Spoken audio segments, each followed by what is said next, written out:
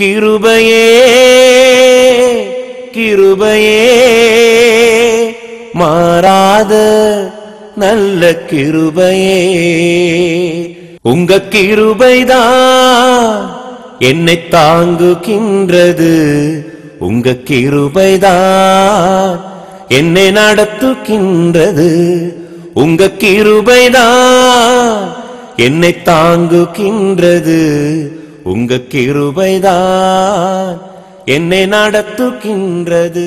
பிரியமானவர்களே உங்கள் யாவரையும் மகாபரிசமல ஆண்டவர் இயேசு கிறிஸ்து நாமத்தினாலே இந்த கிருவிழாத்த நிகழ்ச்சிக்கு அன்போடு கூட வாழ்த்தி வரவேற்கிறோம். இந்த நிகழ்ச்சியை நீங்கள் ஒவ்வொரு வாரமும் பார்த்து பயன்பெறுவதை குறித்து கத்தருக்குள்ளே மிகவும் மகிழ்ச்சி அடைகிறோம் செய்திகள் உங்களுக்கு மிகவும் பிரயோஜனமாக ஆஸ்வாதமாக இருக்கிறது என்பதை நீங்கள் தொலைபேசி வாயிலாகவும் கடிதங்கள் வாயிலாகவும் எங்களை தொடர்பு கொள்வதன் மூலம் நாங்கள் அறிந்து கொள்ள முடிகிறது. எப்பொழுதும் போல நோட்டு பேனாவோடு அமர்ந்து குறிப்பெடுத்து பைபிள்ல இருந்து வேத வசனங்களை பகுத்து பார்த்து இந்த ஆராய்ச்சியிலே படித்து பயன்பெறும்படியாக கர்த்தோடி நாமந்தாலே உங்களை ஊக்கப்படுத்துகிறோம். ஜெபம். எல்லா வல்லமை நிறைந்த தேவனை எதுவுமே இல்லாத மனிதன் எப்பொழுதும் தொடர்பு கொள்ளக்கூடிய ஒரு மிக அற்புதமான ஒரு விஷயம். இதை பற்றிய ஒரு ஆழமான செய்தி கேட்க நம் மனதையும் நம்முடைய எண்ணங்களையும் ஆயத்தப்படுத்தலாம். இந்த நாளில் நம்முடைய செய்தியாளர் கிருபையுள்ள வார்த்தை பத்திரிகையின் ஆசிரியரும் எஜி ஸ்குலார் பாஞ்சரத்தின் இயக்குனருமான போதகர் இளமராஜா அவர்கள். பிரியமானவர்களே ஆண்டவராய் இயேசு கிறிஸ்து நாமத்திலே உங்களை வாழ்த்தி இந்த கிருபில வார்த்தை நிகழ்ச்சிக்கு வரவேற்பதில் மகிழ்ச்சி அடைகின்றேன். ஜெபம் பிரார்த்தனை வேண்டுதல் விண்ணப்பம் மன்றாடி கெஞ்சி கேட்பது இவையெல்லாம் ஜெபமாக இருக்கிறது. இந்த ஜெபத்தை குறித்து கடந்த பாடத்திலிருந்து நாம் படிக்க ஆரம்பித்தோம்.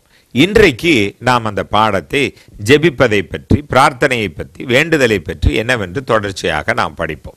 என்ன துவங்கணும்? லூக்காவினுடைய புஸ்தகத்திலே பார்த்தோம். லூக்கா பதினோராம் அதிகாரம் ஒன்று முதல் பதிமூன்று வசனங்களை தேர்வு செய்து முதல் வசனத்தை பார்த்தோம். என்ன பார்த்தோமே என்றால் ஜெபம் பண்ண எங்களுக்கு கற்றுத்தாரும். ஏன் ஜெபம் பண்ணுறதுக்கு முன்னாடி கற்றுக்கணும்னு சொல்லி நிறைய காரியங்களை கடந்த பாடத்தில் பார்த்தோம். அவைகளை நான் திருப்பி சொல்ல விரும்பவில்லை. இன்று நாம் அதை பற்றி தொடர்ந்து படிக்க நம்மை ஆயத்தப்படுத்துவோம். ஜெபம் பண்ண கற்றுத்தாரும். ஏன் ஜெபம் பண்ண கற்றுக்கணும் அப்படின்னா தேவனை சார்ந்திருக்கின்ற ஆவிக்குரிய தன்மையினுடைய சாராம்சம் தான் அந்த சத்து தான் அந்த ஜூஸ் தாங்க ஜெபமாக இருக்கிறது. விண்ணப்பம் பண்ண போறேன் வேண்டுதல் பண்ண போறேன் கெஞ்சி கேட்க போறேன் கூக்குரலிட்டு அவரை அழைக்க போறேன் எனக்காக. ஆனா அதுக்கு நான் போனாலும் என் ஜெபத்தினுடைய மைய புள்ளி கரு என்னவா இருக்குன்னா ஐயா உங்களை நம்பி இருக்கிறேன் உங்களை சார்ந்து இருக்கிறேன்ப்பா அதனால தான் இந்த தேவையை உங்கள்கிட்ட சொல்ல வந்திருக்கேன். தேவையை சொல்லிட்டேன்ப்பா. இனி நீங்கள் என் கூட இருக்கிற மாதிரி நான் உங்கள் கூட இருக்கிற மாதிரி என்னை பார்த்துக்குவேன். ஏன்னா உங்கள்கிட்ட சொன்ன பிற்பாடு இனி நீங்கள் பதில் சொல்லி நீங்கள் என்ன செய்கிறீங்களோ அதை நான் கவனிக்கணும்ல என்று நம்மை மாற்றுவது நம்முடைய ஆவிக்குரிய தன்மையவே மாற்றி விடுவது தான் பிரார்த்தனையாக விண்ணப்பமாக ஜெபமாக இருக்கிறது. சுவிட்ச் போடு ஃபேன் ஓடுது. சுவிட்ச் ஆஃப் பண்ணுப்பா ஃபேன் நின்றோம். அது அல்ல ஜெபம். தேவனை இயங்க வைப்பதற்கு அல்ல ஜெபம். ஜெபம் பண்ண எங்களுக்கு கற்றுத்தாருன்னு கேட்டாங்கல்ல. உண்மையான ஜெபம் பிரார்த்தனை என்பது என்னை தேவன் எனக்குள் இருந்து இயக்கும்படியாக என்னை மாற்றும்படியாக அந்த நிலைக்கு என்னை உருவாக்குவதுதான் பிரார்த்தனை ஜெபமாக இருக்கிறது.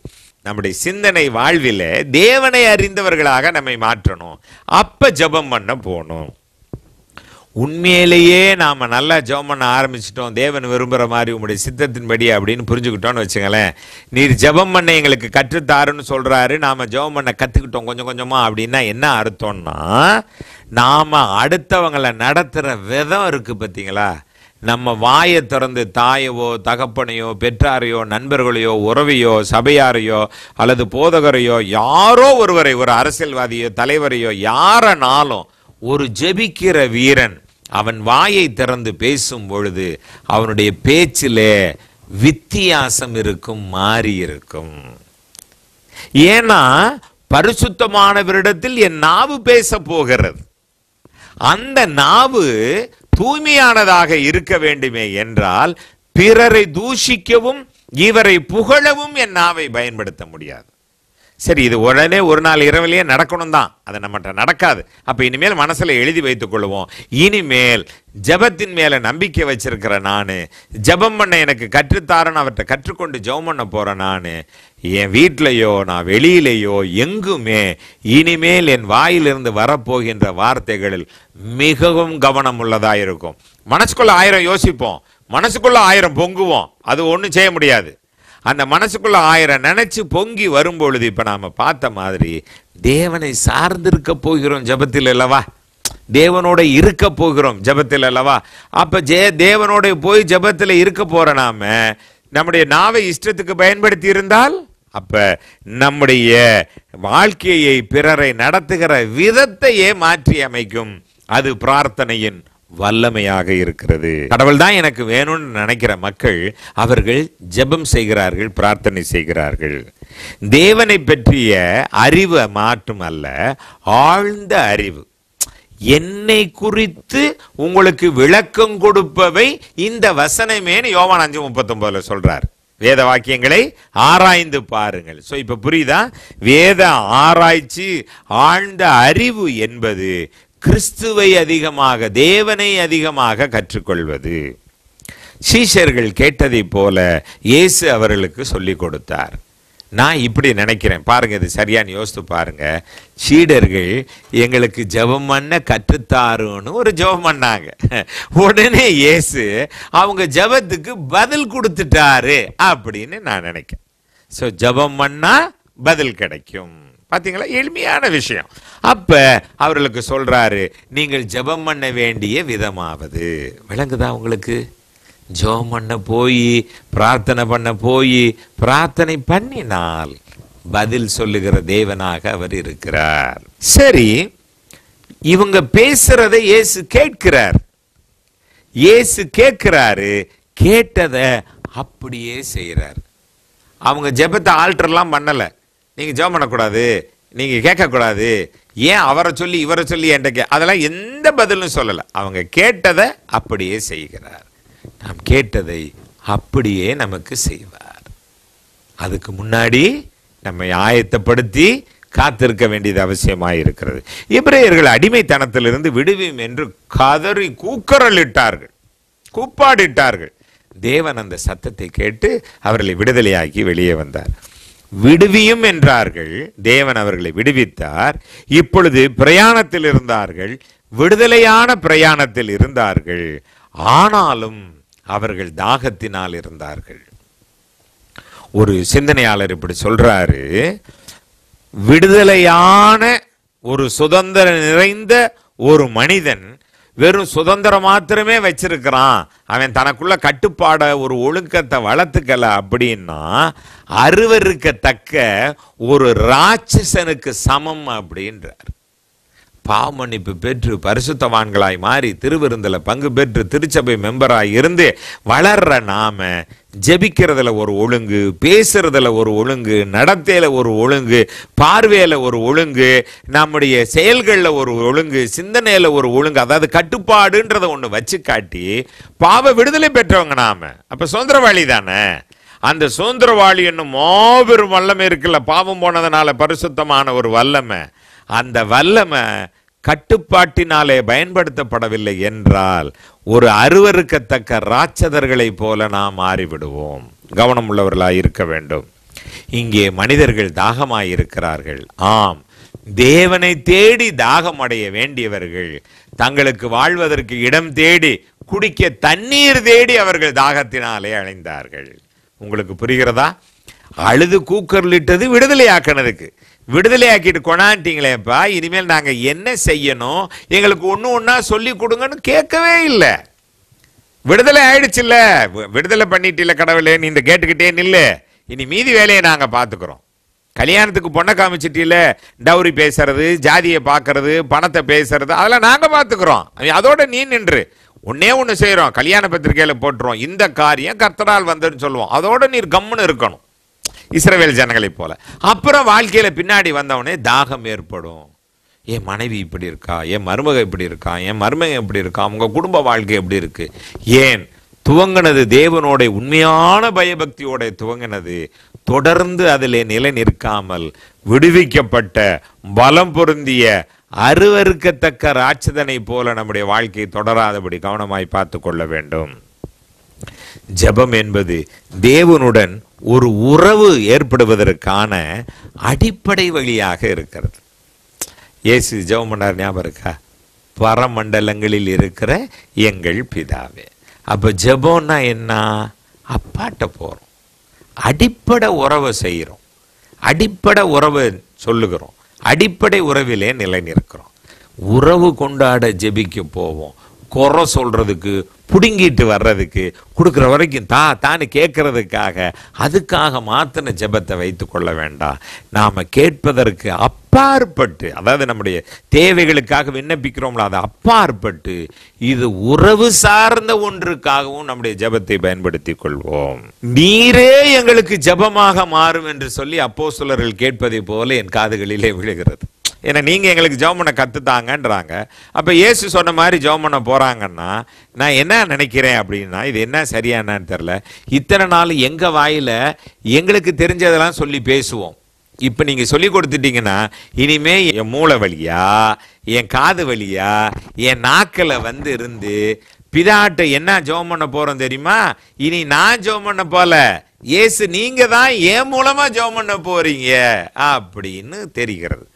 நான் சொல்வது புரிகிறதா என்று யோசித்து பாருங்கள் இத்தனை நாள் நமக்கு தெரிஞ்ச ஜெபம் பண்ணோம். ஏசி இப்படி தான் ஜெபம் பண்ணணும்னு சொல்லி கொடுத்துட்டாரு. அப்போ இனிமேல் ஏசு சொன்ன மாதிரியே இவங்க ஜெபம் பண்ண போகிறாங்கன்னா என்ன அர்த்தம்?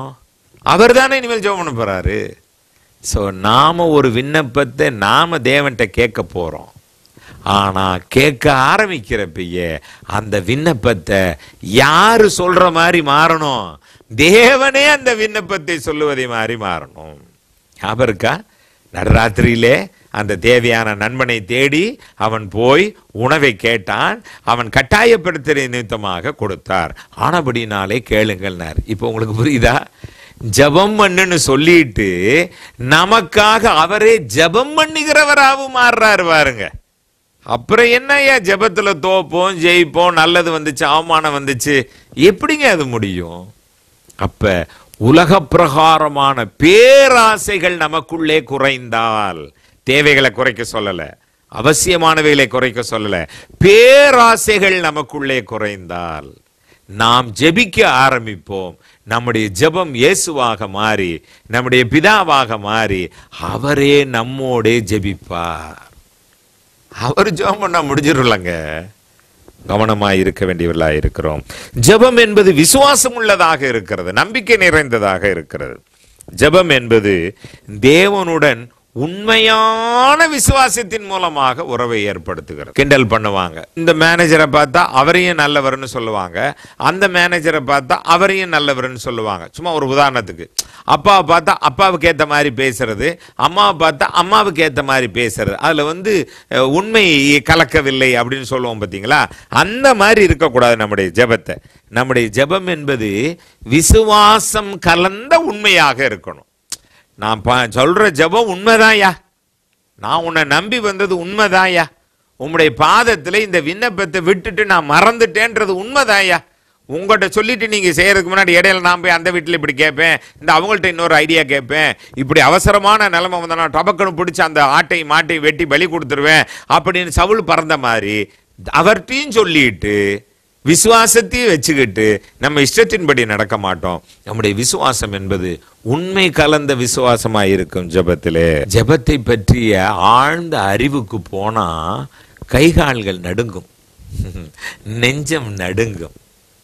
அவிசுவாசம் வரும்னு சொல்லலை. பயப்படுவோம். எதுக்கு பயப்படுவோம் தெரியுமா?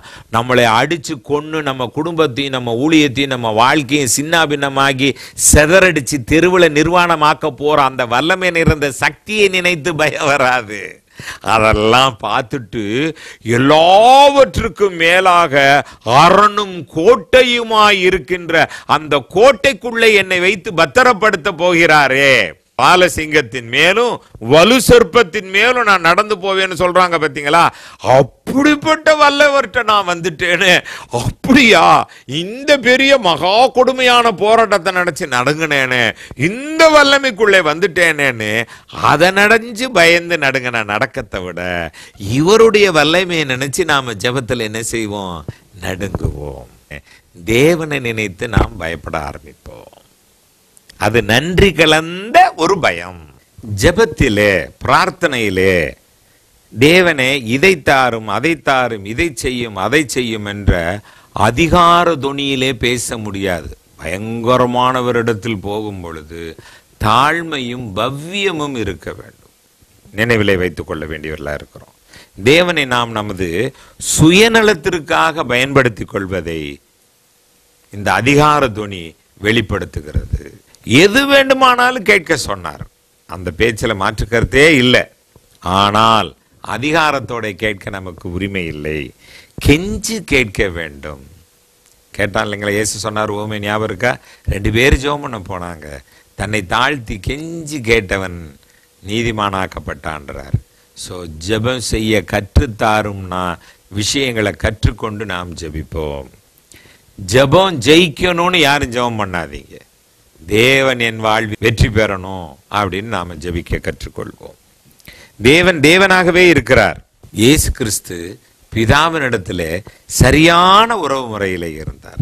நாமும் பிதாவினிடத்தில் ஒரு நெருக்கமான ஒரு உள்ளார்ந்த உறவு கொள்ள உண்மையான ஜெபத்தை நாம் செய்யணும். ஏன் இப்படி நான் சொல்கிறேன்னா இயேசு பிதாவோட வைத்திருந்த நெருக்கமான உறவும் அவருடைய ஜெபம் வேண்டுதல் விண்ணப்பத்தை அது உண்மையுள்ளதா இயேசு ஜெபம் பண்ணுறான்ற கண்டதுனால தான் அந்த சீஷர்கள் அவரிடத்தில் எங்களுக்கு ஜெபிக்க கற்றுத்தாரும் என்று சொல்லி கேட்டார்கள். தேவனுடைய பிரசன்னத்தில் தாழ்மையாக இருக்கும்படி நம்மை அனுமதிக்கிறது தான் விண்ணப்பமாக பிரார்த்தனையாக இருக்கிறது. தன்னை சர்வவல்ல தேவனுடைய பிரசன்னத்தில் தாழ்மையாக இருக்கிறதுக்கு நாம் நமக்கு பயிற்சி கொடுக்க வேண்டியவர்களாக இருக்கிறோம். இன்னும் ஜபத்தில் சரியாக கற்றுக்கிட்டு அதிகமாக ஜெபம் பண்ண வளர்ந்து போயிட்டே இருந்தோம்னா என்ன நினைக்கும் தெரியுமா? ஜெபம் என்பது நாம் தேவன்கிட்ட பேசுகிறத குறைச்சிருவோம். தேவனை பற்றிய சிந்தனையினால் அவரை பற்றி அவர் நம்மிடத்தில் பேசுகிறத அவர் பேசி நாம் கேட்கிறவர்களாக இருப்போம். மறந்து போய்விட வேண்டாம். எங்களுக்கு ஜெபம் செய்ய கற்றுத்தாருங்கள் என்று சொல்லி கேட்கிறார்கள். ஒரு சூத்திரமோ ஒரு மந்திரமோ சொல்லித்தரல ஒரு ஆயிரம் ஸ்தோத்திரம் சொல்லிட்டீங்கன்னா இது உங்களுக்கு நடந்துரும் அப்படின்னா நம்ம விசுவாசத்தை சக்தி இழக்க வைக்கிறோம் நம்முடைய தேவனையும் சக்தியற்றவராக மாத்துறோம். ஆயிரம் ஸ்தோத்திரம் சொன்னால் ஆயிரம் ரூபா கொடுப்பாரு. ஐயாயிரம் ஸ்தோத்திரம் சொன்னால் ஐயாயிரம் ரூபா கொடுப்பாரு. பத்தாயிரம் ஸ்தோத்திரம் சொன்னால் ஒரு கோடி ரூபா கொடுப்பாரு. அப்போ தேவன் கொடுப்பாரா? இந்த ஸ்தோத்திரத்தினால நடக்குதா? பார்த்தீர்களா அவரை ஸ்தோத்திரிக்கணும். ஸ்தோத்திரம் சொல்ல வேணாம்னு சொல்லலை. அவருடைய மகத்துவத்திற்காக அவருக்கு துதி ஸ்தோத்திரத்தை செலுத்தணும். அது வேற. அவரிடத்தில் கேட்பது என்பது வேற. எந்த ஜெபத்தையும் மந்திரமா வச்சுக்காதீங்க. இதை ஒரு பத்து தடவை சொல்லுங்க. இதை ஒரு நாலு பேருக்கு அனுப்புங்க. அந்த நாலு பேரும் செஞ்சிட்டாங்கன்னா நல்லதாயிரும். அது அல்ல. உன் விசுவாசத்தின்படியே உனக்காக கடவுதுன்னார் ஜெபிக்கணும்னு எனக்கு மனசுக்கு ஆசையா இருக்குங்க. அப்பெல்லாம் நான் ஜெபம் பண்ணிடுவேங்கன்னு யார் சொல்றோமோ நாம தப்பு பண்றோம்னு அர்த்தம். பேசணும் போல இருந்தாதான் பேசுகிறோன்னா வேலை பார்க்குற இடத்துல மேனேஜர்கிட்ட பேசணும் போல் இருந்தால் தான் பேசுவோமோ? சம்பளம் வராது. மனைவிட்ட பேசணும் போல் ஆசையாக இருந்தால் தான் பேசுவோமா? மீதி நேரத்தில் பேசாமல் இருந்தால் சோறு கிடைக்காது. பிள்ளைகிட்ட பேசணும்னு தோணா மாத்திரம் தான் பேசுவோமா? எப்படி இருக்கும்? அப்போ தோன்றினால் உணர்வினால் ஜெபிக்கிறேன் என்று அல்லாமல் ஜெபிப்பது ஒரு தொடர் பழக்கமாக நமக்கு இருக்க வேணும். இடைவிடாமல் ஜெபியுங்கள். தொடர்ந்து ஜெபியுங்கள். இயேசு ராமுழுதும் ஜெபித்தார். பகலிலும் ஜெபித்தார். தனியே இருக்கும் பொழுது ஜெபித்தார். புரிகிறதா? நான் கற்றுக்கொள்வோம். ஜெபிக்க ஜெபிக்க ஜெபம் பண்றது ஜாஸ்தியாகுங்க.